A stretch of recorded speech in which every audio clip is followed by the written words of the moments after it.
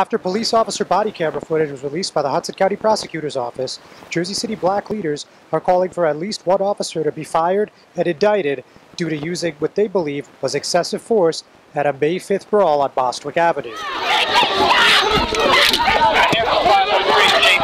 going eastbound on Bostwick. Is that a description on that guy?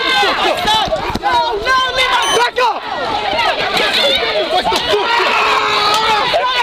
Back up! You don't got nothing to do with it! Back up! You don't have nothing. Back up! Back up! You don't see that man, you get stripped on that fella. You don't have nothing to do with it! Me and my son Back up! Let's go! Cause he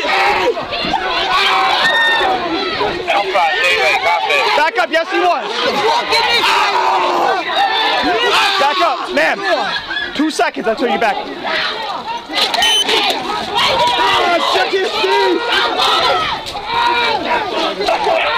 challenge the prosecutor to actually go forth with indicting Officer Rowan and anyone who was on scene on May 5th using that type of force.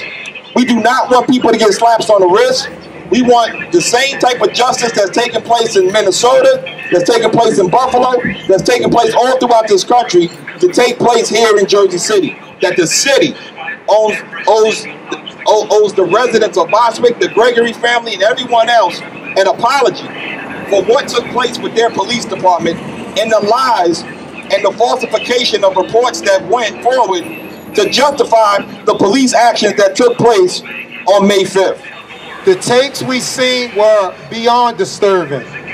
The mayor, the police chief, and the public safety director, at best, flat out lied. You can clearly see the action in the video of the young man pushing the officer. We're not here condoning any violence placed on anyone, especially not the officers who serve and protect our community.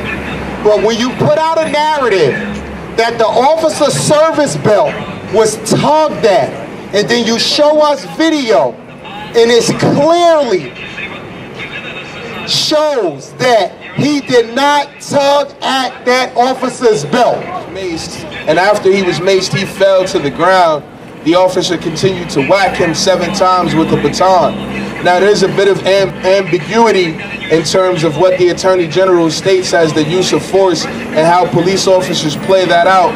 But I know that I can tell any one of you or any one of the people behind me that if I'm maced and the mace subdued me, then there's no reason to continue to beat me. And that's not a de escalation tactic. So we have to be wary. We have to continue to condemn what these quote unquote de escalation tactics are.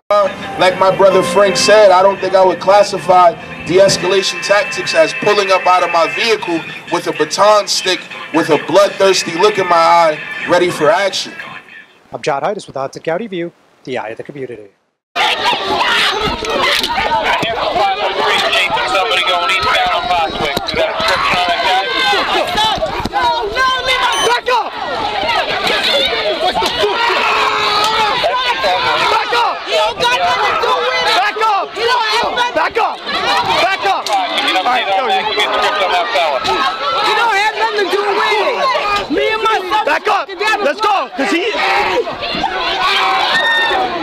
Alpha, David, copy. Back up, yes he was. Back up, ma'am. Two seconds until you're back.